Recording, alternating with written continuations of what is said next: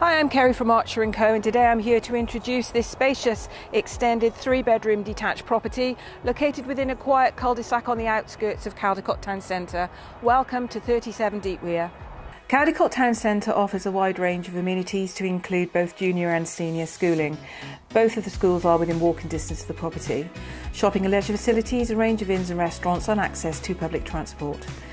There are M4 junctions located at both Chepstow and Magor and main rail station at Severn Tunnel Junction in Rogiet. The property is located only a short distance from the beautiful grounds of Caldicot Castle and Country Park. Located within a quiet cul-de-sac of 41 properties, 37 Deepweir is situated on the outskirts of the town and just a short walk from the communal fields of the local cricket ground and clubhouse.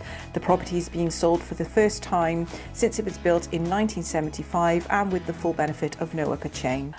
Looking at the property in more detail, to the ground floor there is a reception area with doors off to the cloakroom, fitted with a two-piece suite and access to the living room. The living room offers a sizable reception room with front-facing window and stone fireplace. Doors lead to both the dining room and turn staircase, giving access to the first floor landing. The dining room is located to the rear of the property and has been extended to now provide a good sized second reception room with a rear facing window giving garden views. The kitchen has a range of base and wall units with wood effect rolled edgework surfaces and a stable door giving access to the rear garden. The first floor landing has doors leading to all three bedrooms and the original bathroom has been adapted to now provide a wet room. The master bedroom has been extended and now provides a sizable room with rear facing window giving garden views whilst bedroom 2 will also accommodate a double bed and has a range of built-in wardrobes. The third bedroom is a single front-facing room.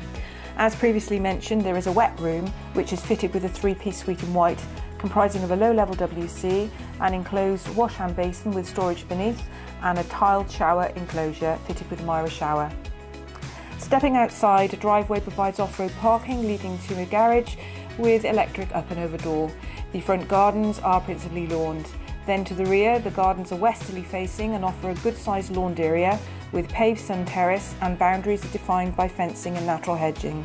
Thank you for joining me today. If you have any further questions or if you'd like to arrange a viewing, please give us a call.